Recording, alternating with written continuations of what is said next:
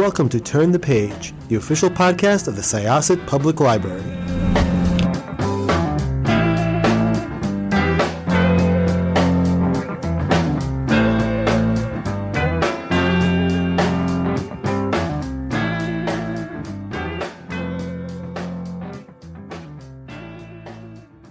Welcome to Syosset Libraries Turn the Page podcast. I am Jessica, your host, and I am here with an author who I have been a fan of for quite a while, and I am really excited to talk about this book. Please introduce yourself and tell us about Death at Morning House. Hi, I'm Maureen Johnson. I am the author of a lot of books over the years, including the Truly Devious Stevie Bell mystery series, 13 Little Blue Envelopes. Uh, I've worked with Cassandra Clare, John Green, uh, many people, but this is Death at Morning House, which is a new standalone mystery that takes place in upstate New York in the Thousand Island regions. It is a dual timeline mystery that takes place where uh, you try to figure out what happened to a family in the 1930s that had two kids die at, in the same day at a mansion on an island. And in the present day, of course, there are present day murders. There's a scented candle that blows up. There are boats, there are jet skis, there's romance, there's trouble, and there's a lot of murder.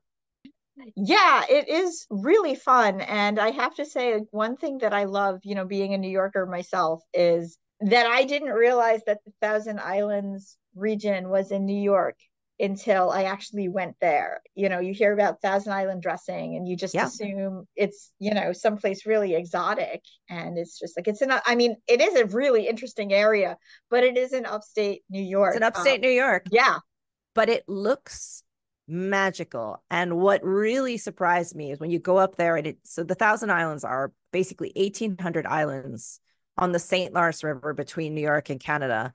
Some of these islands are literally to be an island, I think you have to be one square foot around, surrounded by all sides by water, and have a tree, or at least once have had a tree.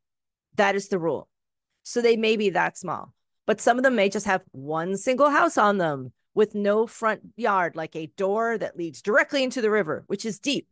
Or they may be a much bigger island where it may have a mansion or a castle built on it because that was used to be this kind of millionaires, billionaires playground. And the water is kind of green, like tropical, beautiful, clear green. It is magical. It is gorgeous because I have been, yeah, I have been up there, and that is a really good description of it. And as a New Yorker myself, as I mentioned, you know, it was kind of cool discovering it and then seeing that this book was set there made me even happier. Uh, but this is the story of many things, beginning with a date gone wrong. Uh, yes. Uh, Marlowe, our protagonist, has been in love with Akila for a very, very long time. Um, yes. And she finally gets the chance to go on a date with her and she's really excited and she tries to be romantic and accidentally sets fire to a house yes which uh, sends her on this trajectory to work at morning house which um or rather uh, the house uh, that, that we're talking about which was owned by this wealthy family and uh, has a group of mysterious people working there, other teens who have their own story. And it is thick with mood. It is so, so interesting. I really was very intrigued by Marlowe's voice and just sort of how she kind of came to everything and her observations. But then there's also the kids who used to live in the house, uh, two of which, as you mentioned, Clara, who was the eldest, and Max, who was the youngest, died on the same day.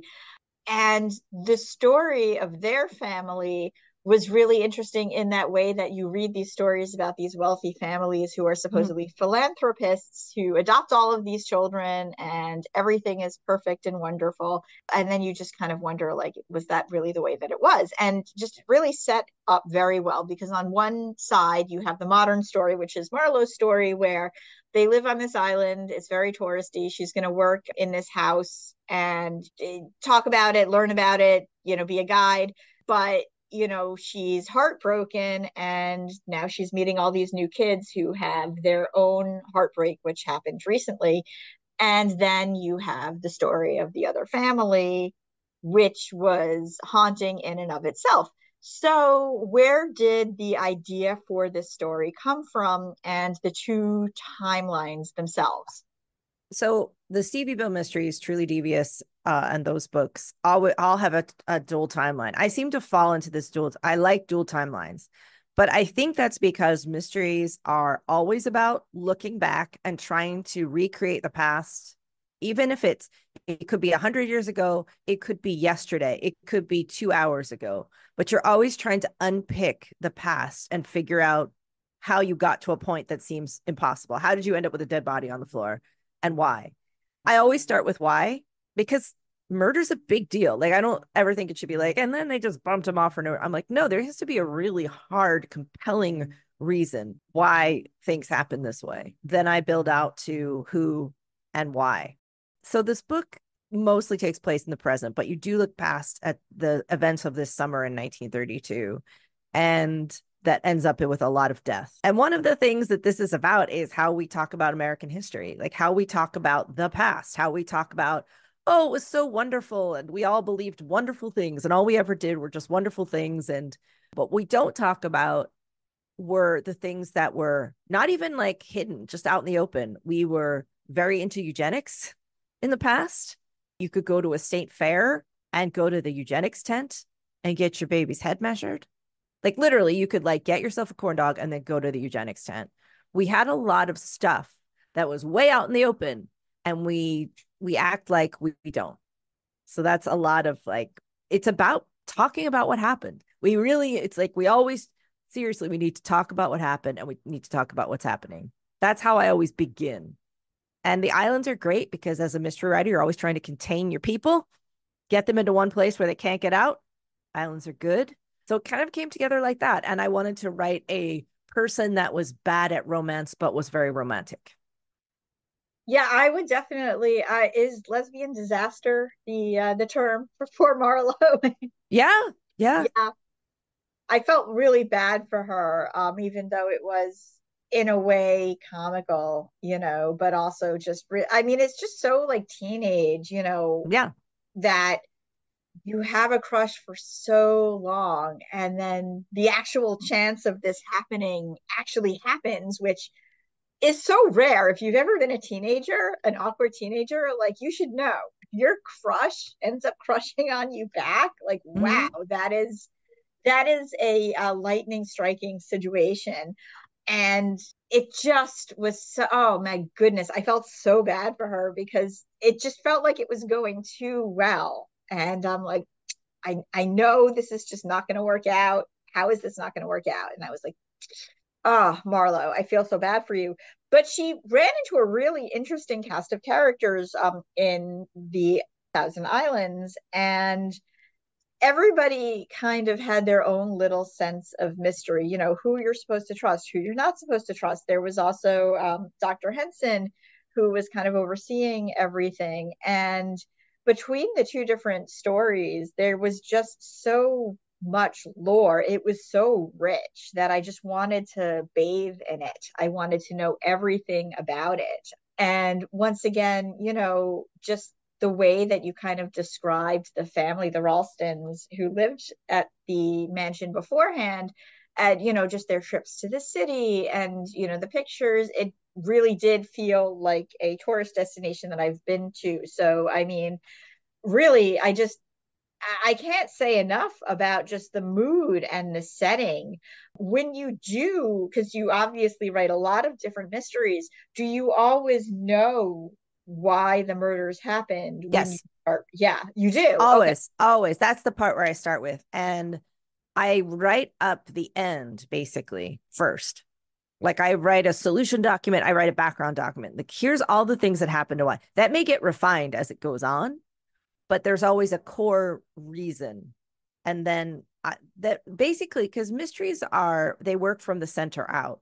You have a center event, a murder, there's a body on the floor. And everything that happens, then there's a kind of spiral that goes around that body. That's just time spinning out. And the further you get away, the less you know about why the body's on the floor. So you only get little flicks of information that come off of it. That's what mysteries are. So you get to kind of pull these threads out because you get very little information. You get a slightly opened window. You get a chair that's in the wrong position. You get a glass on the table. You get you you get to pull these tiny threads and work them through your story. It's a delicate thing. It's very visual to me. As you can see, I'm moving my hands a lot because I really see it. I see it as a little spinning thing that I'm pulling threads off of. It's really fun to work through it as a reader, too. I really, like I said, like I wanted to know everything about everybody who was in the house now and everybody who had been in the house. And I do have to say, the whole plot line of the fact that you think that you know obviously the parents who adopted all of these children you're obviously always told that these were philanthropists they were so open about how they felt about eugenics and mm-hmm. To think it to think in a you know obviously like in our setting as we should be horrified by that but you know just like even when they were questioned about it with the kids it's like no we're going to get you a book on eugenics and explain why these questions yeah, it, are wrong. It was, it was just not it, it was considered um just like normal health science. It was just normal like that's just how things are that's just how things work. It was considered healthy and it was in fact because the family's really into health food like early 20th century health food which was grosser than you could possibly imagine but that health food movement was tied into eugenics. It was, they were actually kind of companions. I cannot really stress how mainstream this was, but it was all considered part of healthy living. So, and uh, there were a lot of other movements that were connected to this. Like it's, we have their stuff that we like we, we need to learn we need to, to be taught that we actually did this it's really important you learn from your mistakes not your victories I mean, yes. And as you say it, it reminds me of how the Kellogg cereal company is actually yes. connected to all of that. You know, these yeah. are things, these are things that we we don't we don't think about. And this was just a really, again, it was a really good mystery and also a really good way. I commend you of just pointing in that direction and being like, hey, here's a thing we should know about. You know, and this was for a YA audience. Yeah, and there was actually a lot of stuff I toned it down because there was stuff that was originally in the draft that I was like, ooh, like I had to tone it down because it was too grim. But I could go into I the trouble is with this, I could go into like two hours of here are all the little things. Like if you read in the Great Gatsby, for instance, there's a book that's referenced. Like they talk about this, like they're like, hey, you should read this book by this guy. It's great. It's about, you know, you there's it's yep. sprinkled throughout. it really it really is and i and i will say i am um, i am a big fan of the great gatsby uh as so you know that you know what i'm general. talking about yeah i do i know exactly what you're talking about because it's it's funny that is that is one of my Eh, it's it's like either a, you love it or you hate it classic and i was one of those people who like immediately was like yes so i know exactly what you're talking about the scene where yeah tom buchanan is talking about this book like it's the best thing ever and it is a seriously racist book and it what I love, just yeah, yeah the, it's a big racist textbook, and he's like, "Here it is. Here you should read this. This is what it's all about." And that was how things were. Yes, yes, yes. And you know, I I liked that the cast of Death at Morning House, the modern cast, are very diverse as well. Mm-hmm. So you know, it was it was a really just interesting contrast. You have this mystery in the past, and then you deal with all of this, and then you have a lot of stuff that was going on now through the eyes of queer characters, you know, different uh, various races. It, you know, it felt obviously very grounded in the reality that you know I live in now. Um, especially, you know, our community has our our community has diversified since I was a kid. I grew up here, you know, obviously not completely, but it, there really was a very uh, good contrast between the, between the two and everybody was very interesting as well i mean what i wanted to do was make a classic fair play mystery that you can solve without any outside information you know there is there are weird things i like weird historical stuff like tantalizing things but it's all the all the information that's the bottom line is always there all the information needs to be there. You need a chance to solve it. There are actually two different mysteries in here you get to solve. And you know you have a you have a shot. Uh, you absolutely can do it. Well i loved it. There are several people who are wondering is this really a standalone or are we going to see yes. more of these characters ah no this is a standalone there is more stevie there i'm working on the next stevie bell right now I wanted because I think mysteries have basically two modes. Is one is the standalone one and done situation where you meet a group of characters in a case, but then you have your detectives, the people that move through multiple cases. And Steve, I wanted to do a detective with a multiple case. That's that's why I made Stevie. But then I also wanted to do the classic standalones as well. I just love all mysteries all the time, 24 7. I was a mystery kid. I'm a mystery adult. Well, this was a super fun one. So, Stevie is what you are working on next, the next Truly Devious? I'm working on a, the new Truly Devious as well as a new, separately, a dossier mystery, which is a little book you'll be able to get. And it's like a case book that's like, there's this case you have to solve, and here are the files, and here are the photographs. Except it will be illustrated. The photographs will be illustrated, but they're amazingly done. And you get to solve the case by reading through, and the solution will be in the back. So that's going to be called the You Are the Detective books. And the first one's called The Creeping Hand. And that'll be out next year. And I'm finishing that up right now. And then Stevie as well. Mysteries all the time. Go, go, go, mystery. Thank you so much. This was super fun. Maureen Johnson, I am really happy to be talking to you. And hopefully we'll chat again soon. Thank you so much for having me. Once again, this was Jessica with Syosset Libraries Turn the Page podcast. Death at Morning House should be available. Check it out at your local library. Go to Check your library and use it. If you don't use it, you lose it. Use it. Go in. Use, use your library or your or your local independent bookstore. I love That's also too. good. Both, Also- both. Why not? Both is You- good. There's no reason why you don't go to both. None. Exactly. A hundred percent. Maureen Johnson, thank you so much. And we are going to close this chapter of Turn the Page. It's time to close this chapter of Turn the Page. Join us for the next episode.